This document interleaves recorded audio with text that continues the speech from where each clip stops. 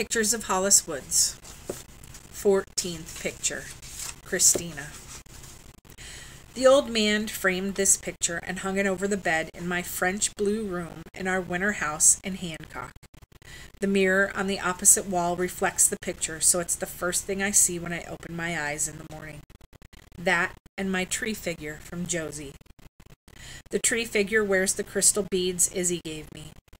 They're too small for you now, Hollis, Izzy said as she looped them carefully over the sea, grass head. They're from my sixteenth birthday, but I always wanted my oldest daughter to have them. I tried to match the picture to the W one in my backpack, but I couldn't do it exactly. First, there's a flag in the background of this one because it's Memorial Day, the day we open the house and branches for the summer each year.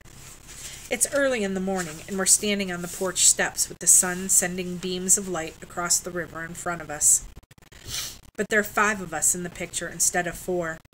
The old man looking a little grim. He's just discovered that Steven left his bedroom window open so the snow drifted in all winter, ruining the wall and buckling parts of the wood floor. Steven tries to look serious, but you can see the laughter in his eyes. Holly will paint it up, he said, needling the old man. She'll paint it green. That's her favorite color. They still argue, sometimes so loudly I put my hands over my ears. When they see me, they smile. It's all her fault, Steven says, and the old man leaves leans over to pat my shoulder. In the picture, Izzy stands in the center, a little taller than the old man. She's wearing a loose shirt in that blue that I love. Are you happy? she asked me as I sketched us all later that day.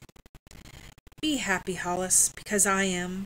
I've never been happier. I didn't answer. Instead, I drew smiles on both our faces. I'm the fourth one in the picture. By the way, smiling, just a bit. I know I'm thinking of Josie, thinking of running here with her a year and a half ago. If I hadn't done that, I wouldn't have this picture, wouldn't have any of it. I'd still be running.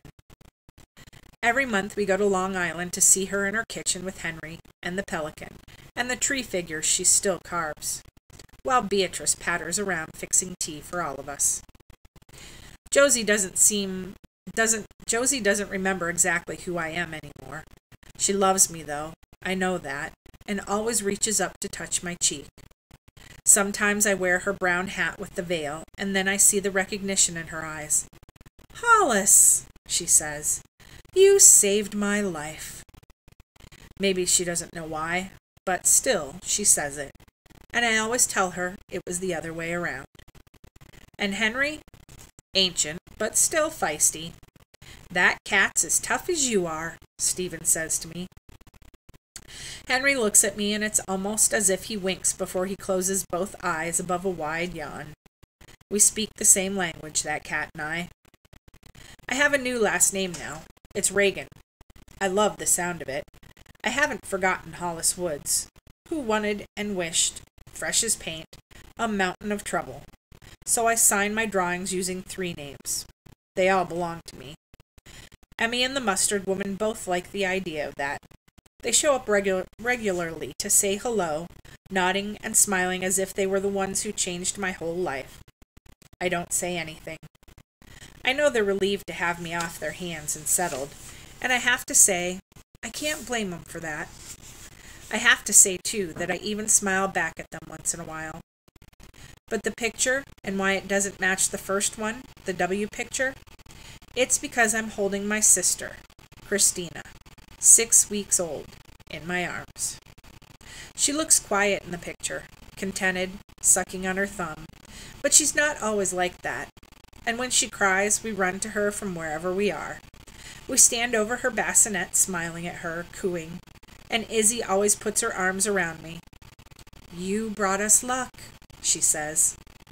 So there are five of us now a mother, a father, a brother, and two sisters. A family.